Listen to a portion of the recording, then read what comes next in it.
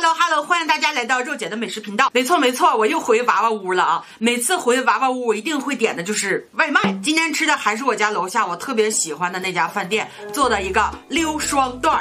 溜双段里边有那个大虾仁儿，还有那个肉段儿。我现在夹起来这个就是虾仁儿，这个虾仁儿做完之后这么大的话，就是它生的时候应该已经很大了，非常大了。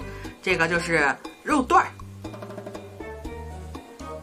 这是一份加了奶的火鸡面，好久没吃火鸡面了。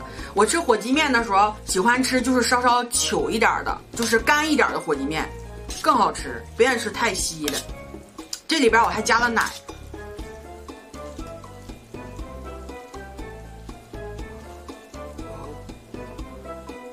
哦，火鸡面没吃的时候就开始分泌唾液了。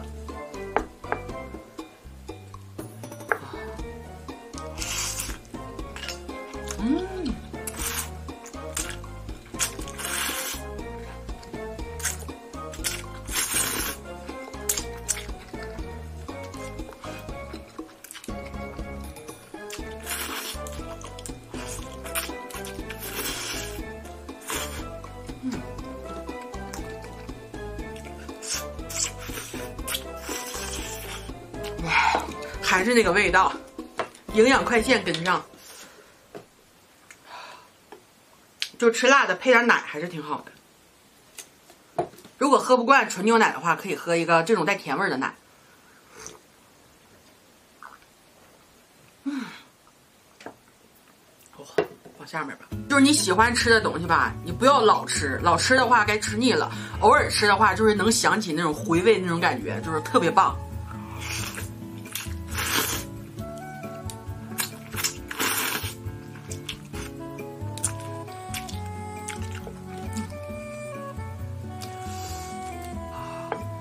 这是一块肉和一个大虾仁加一起了，哇，这叫一脆。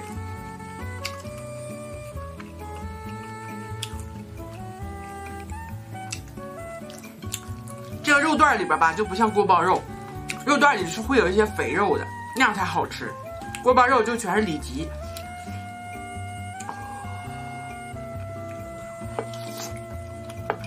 吃了个大虾仁，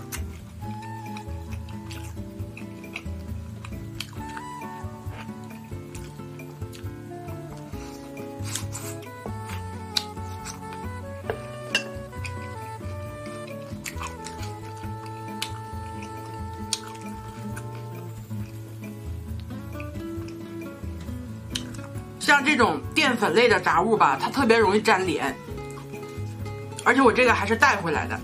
就不如在店里面吃那种，不过不影响吃。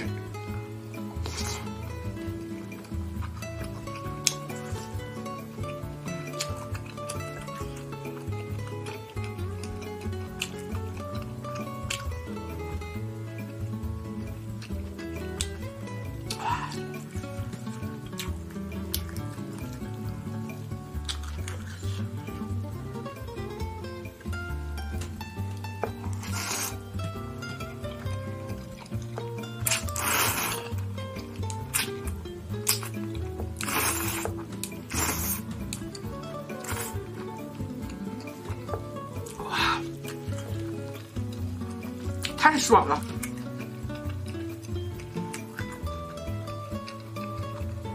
哎，你们有多久没吃火鸡面了？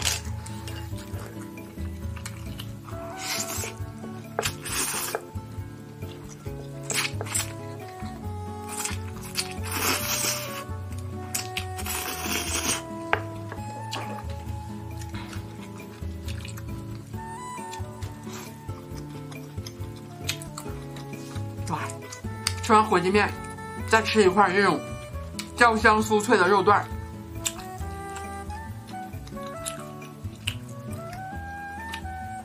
一定要夹一点配菜。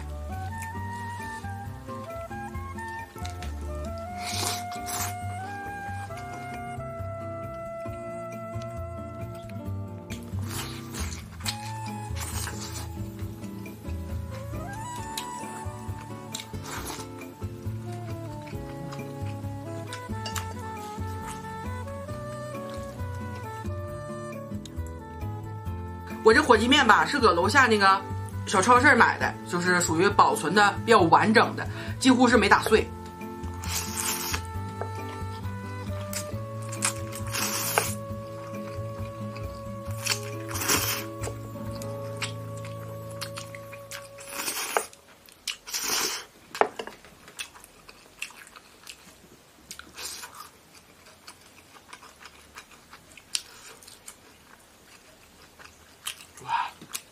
太香了。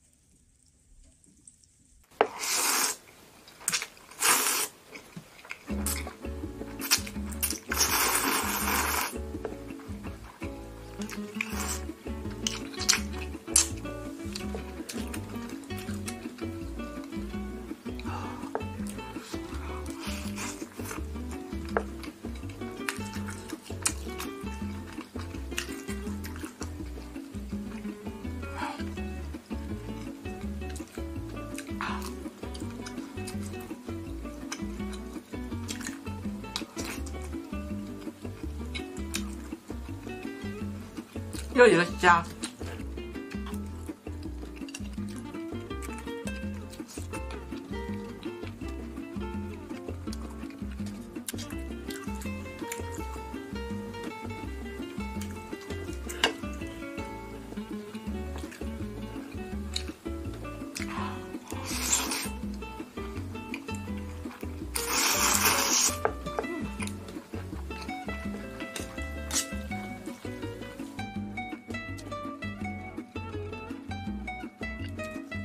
火鸡面里边加了牛奶，辣味能减一半。